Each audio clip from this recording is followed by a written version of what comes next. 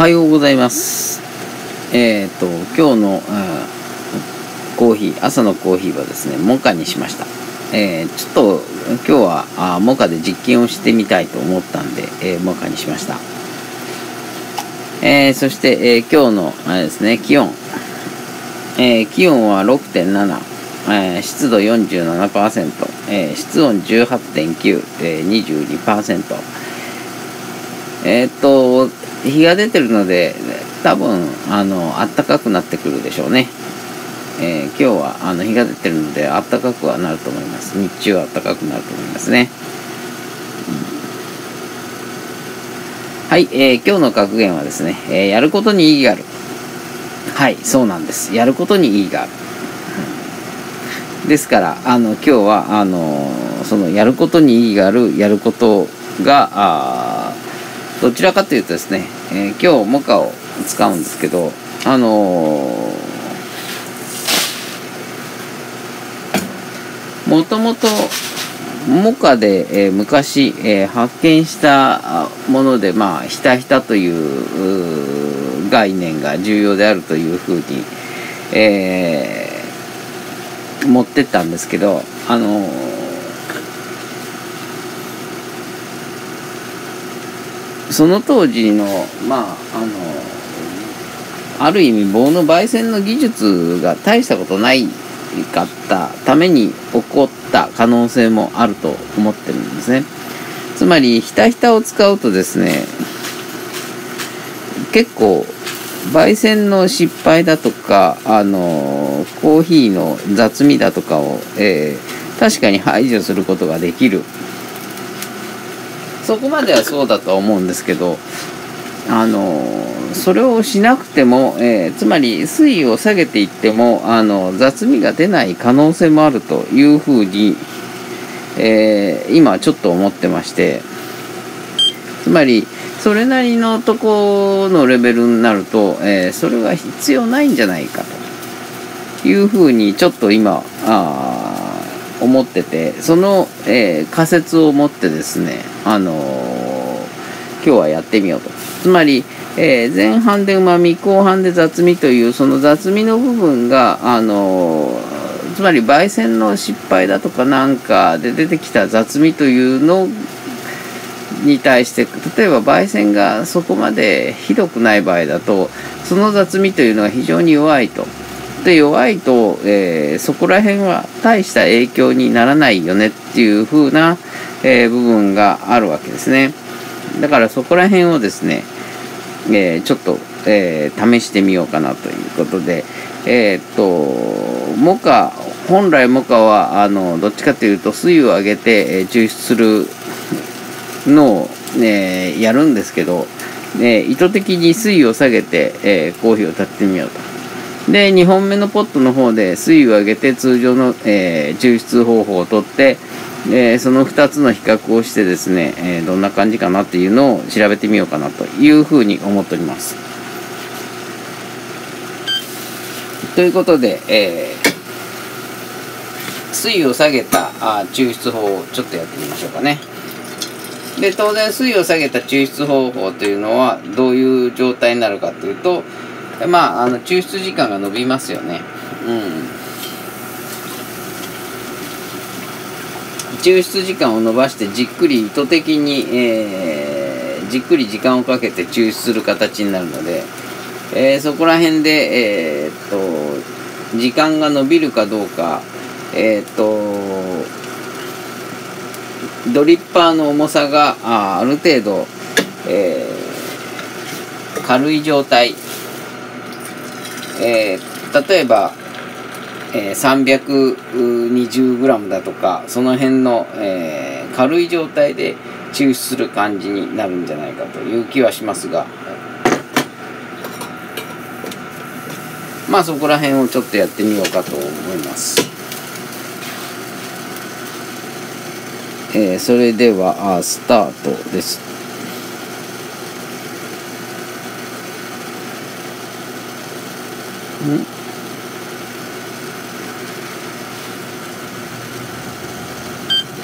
あ動いた。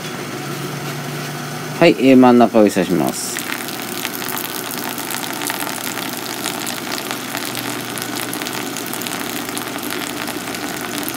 大体 30g ぐらいで下へ降りたんですかね。この辺はまあ大体同じような感じですかね。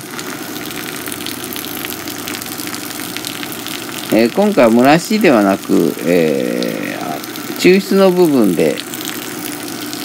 えー、水をえ下げ気味で、え抽出するっていうことを、え意図的にやってみようかと思っております。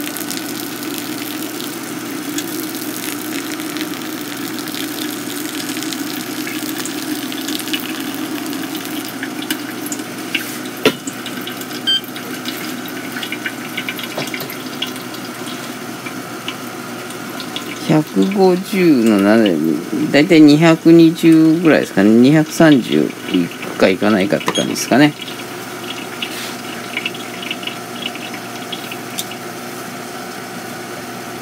とりあえず、えー、3分ですね。えっ、ー、と今日の格言、えー、やることに意義がある。あのそうなんですよ。やることに意義があるんですよ。だからあのもともとがもう30年前ぐらいですかね30年ぐらい前にあのモカで発見したんですよねこの松屋敷の時に、えー、あまりにも丁寧に、えー、お湯を差しすぎると、えー、嫌な味があ、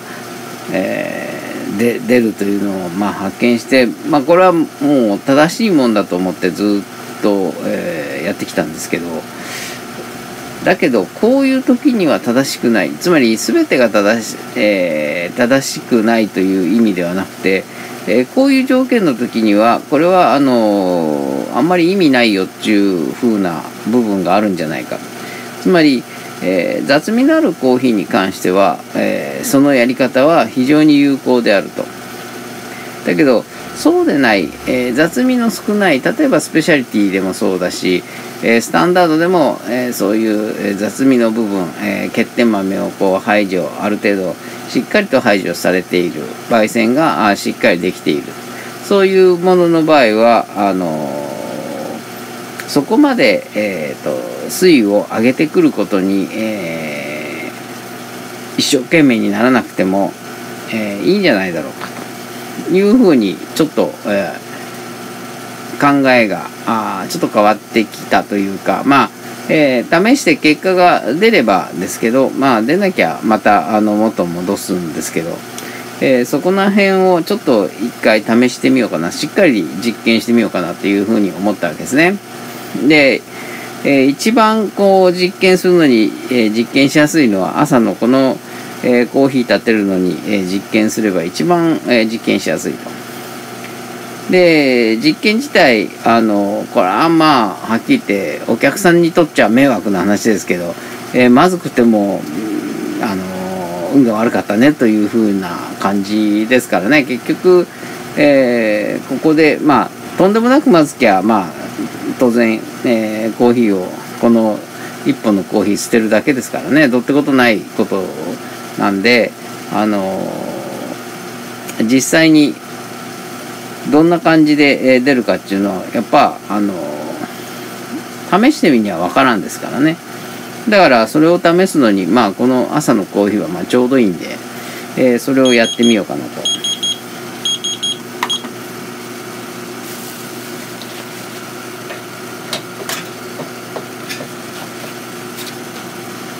えー、それでは抽出に入ります。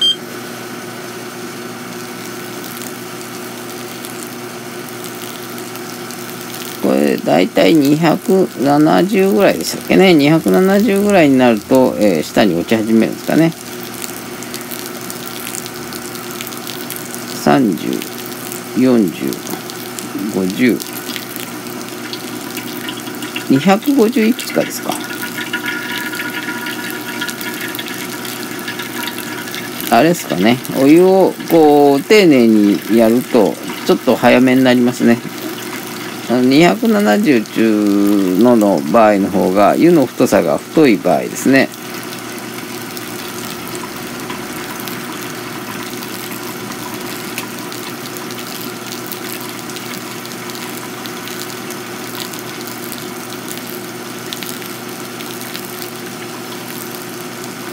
だから、えー、っと今日は意図的にちょっと、えー、お湯を細く、えー、刺して、えー、本来だったらあのこう上の方に水位が上がってくるように、えお湯を刺すんですけどそれをわざと、え水位をあまり上がらない、え位置に、えお湯を持ってくると。その状態で抽出して雑味が、えー、出るものかどうか。で別段あの、昔と比べるとまあ焙煎もまあちょっとは上手になったんでだから雑味の部分があ少なくなっていると思うんですね。でもともとがあの、このうちがえー、僕が30何年前にこの、えー、薄めるという考え方をやってたっていうのは僕の中ではあ一つにはまあ焙煎が下手くそだったっていうのもあるような気がするんですよね。もしかしたら焙煎がまあそこそこ上手であったとしたら薄めるとこまではやらなかったかもしれない。もっと言うと、えー、人粒の半分という概念よりももうちょっと、えー、長くえー、抽出しておいてからやったかもしれない。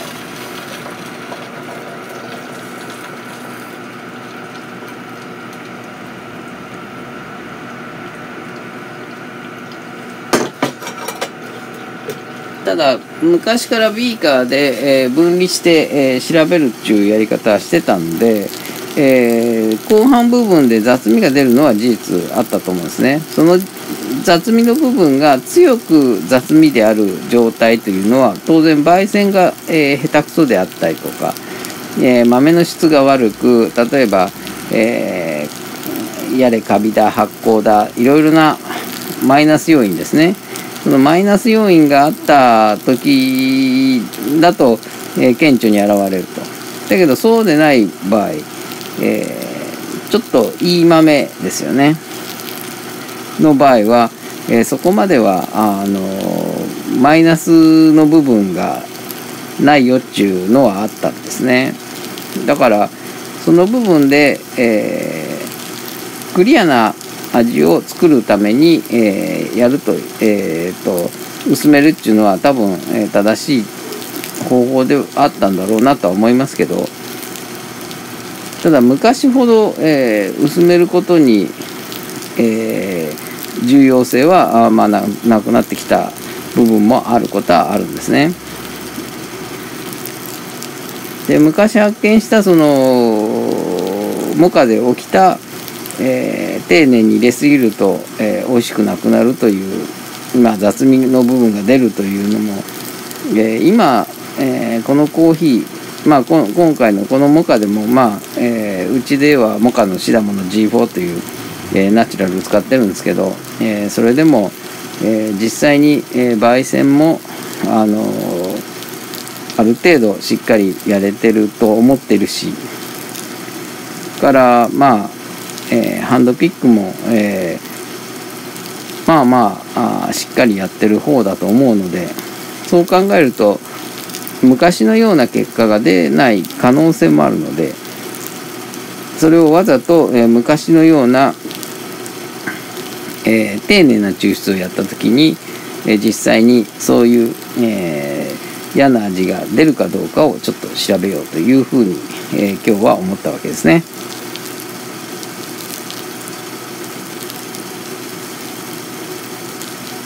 だからあの実際もっと、え正確にですねあの本来、えそれを発見した5杯出しでえっ、と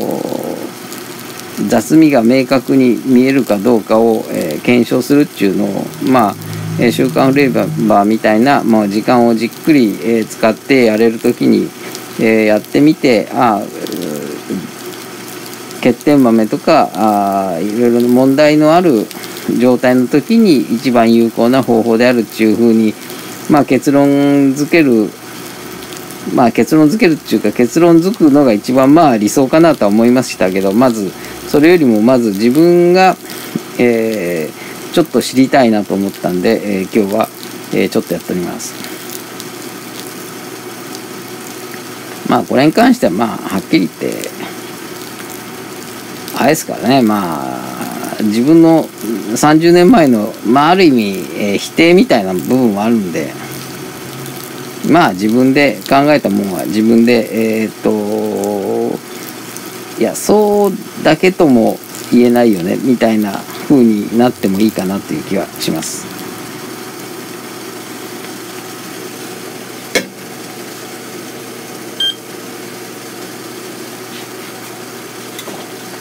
はい、えー、6分29秒かけましたね。うん。通常よりも相当長めに、えー、抽出に、えー、時間をかけてみました。はい、えー、いつも通りに 300g までになったら外します。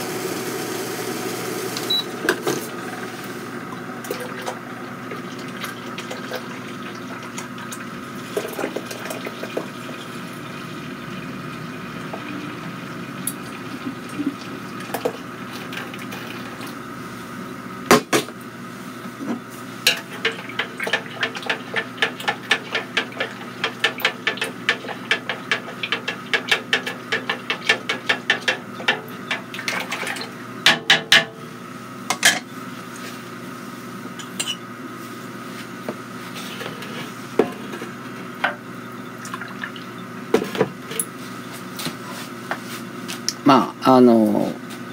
1個目、えっ、ー、とすごい丁寧に入れたあモカでございますね。だからこれともう1本の、えー、コーヒーを、えー、飲んでからでないと本当の、え比較にはなっとらんのでいかんのですけど。うん悪くないんですよ。やっぱ昔の、あの焙煎この選別の部分に問題があったというふうに僕はちょっと今思ってます。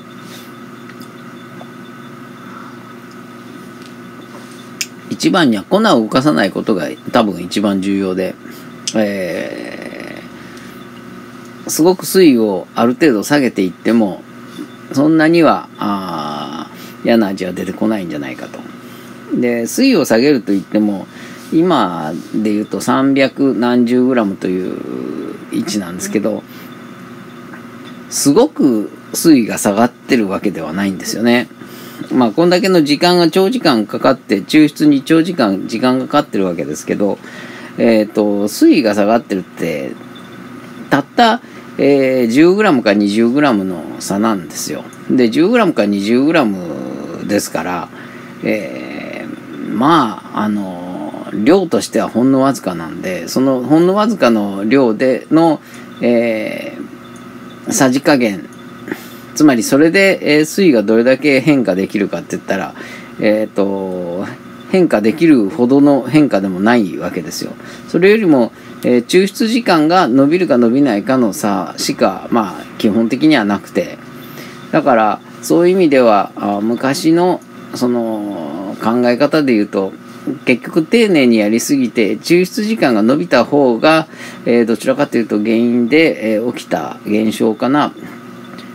つまり水位を上げる上げないよりは抽出時間が伸びたことによって、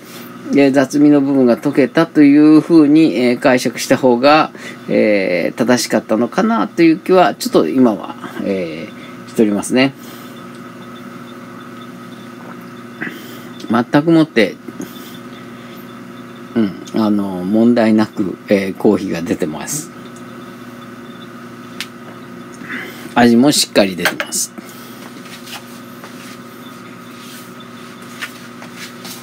まああのあれですけどね。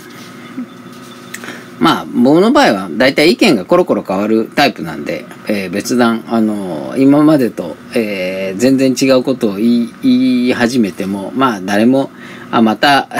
あの、意見変えてやがるぐらいしかないんですけどね。はい、えー、っと、玉木ウィンターフルセット、